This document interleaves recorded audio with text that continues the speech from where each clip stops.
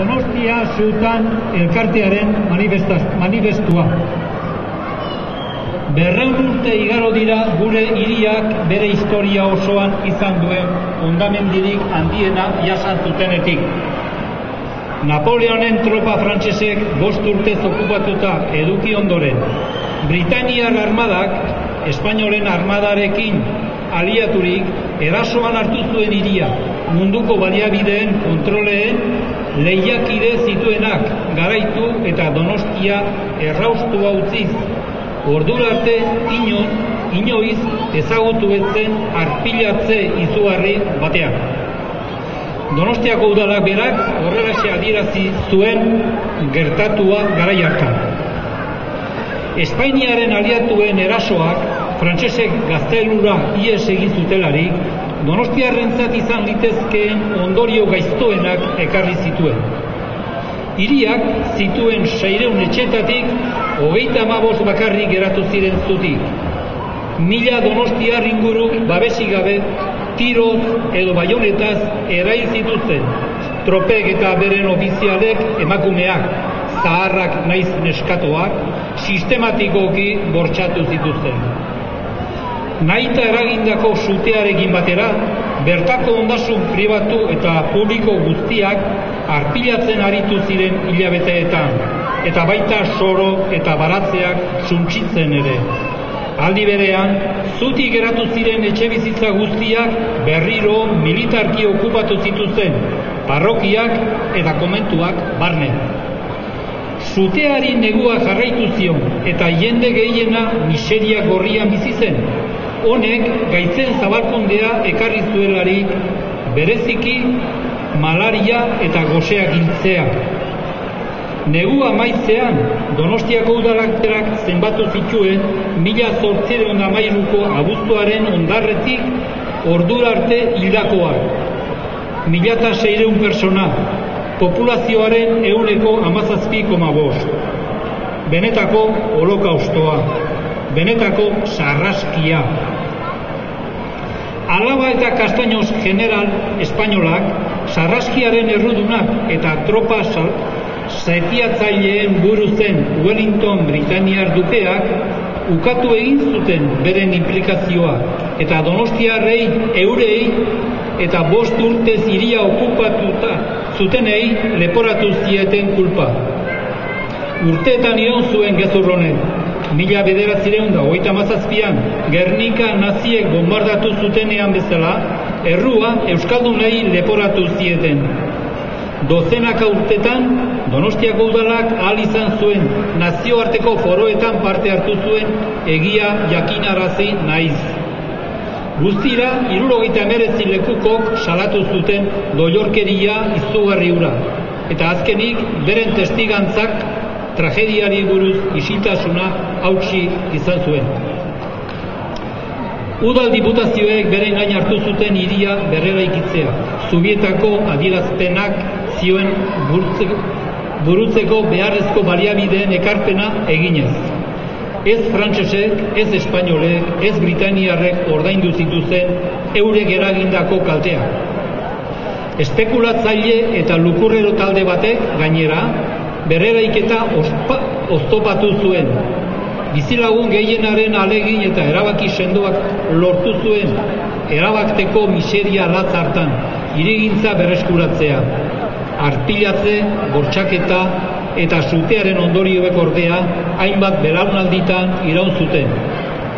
Berren urte geroago agiri honen sinatzaileo Donostiako herriari bertako bizilagunei eta ordezkariei proposatu nahi diegu holokausto ikaragarri ura jasan zuten guztiei omenaldi unkigarri bat eskaintzea.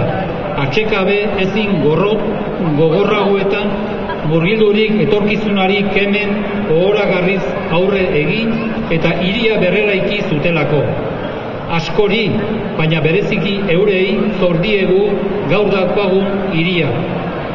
Zorretan gatzaizkie, militarkeriak, militarkeriari gabe eta orduan gure iriarekin zerikusirik izan gabe lehian zeuden armadei buruzko antzezpenik gabe, egin diezaiogun merezi duten omenaldia.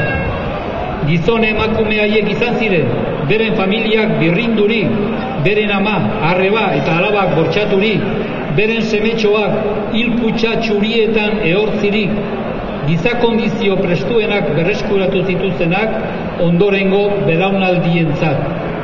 Kolektibitatean uste sendoa, askatasun grina irmoa eta batez ere, inoiz etxigabe egiaren defentsa ziurtatzea historiaren zutoin izan zedin betiko.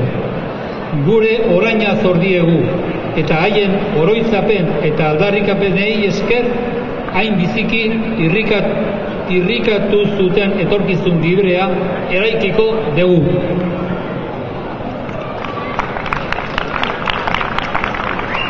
aldatzen dira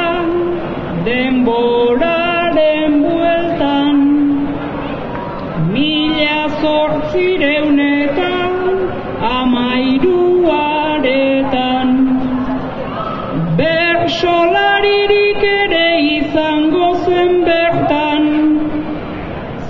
kantatzen ote zen orduko elkarteetan.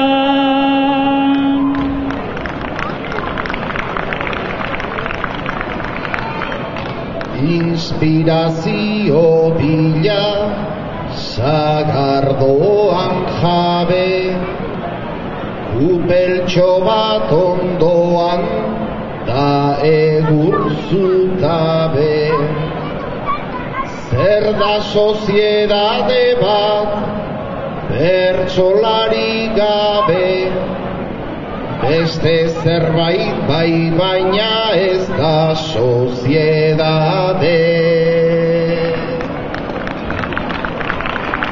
Mila zortzireun pasa eta amairu Ta orduko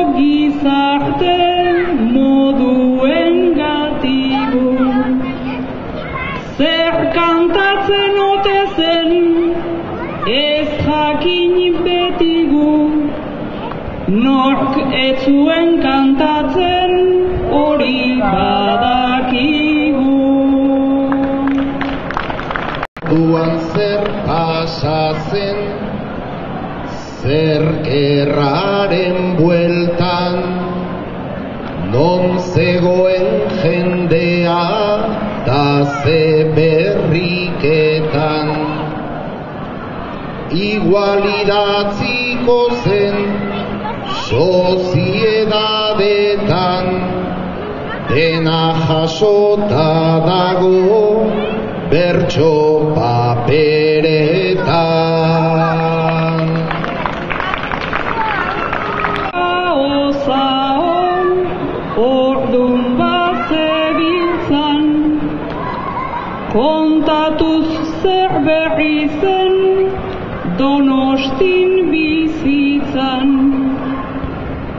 Elkarteak zer diren, badakigun gizan, batzuek berreun urte ez dute aski izan. Emakumeak bazterreta kate zerbait aldatuko onuntza bitarte naiz lehen isten zitzaion tabernata ate. Orain emakumeek irakurtzen dute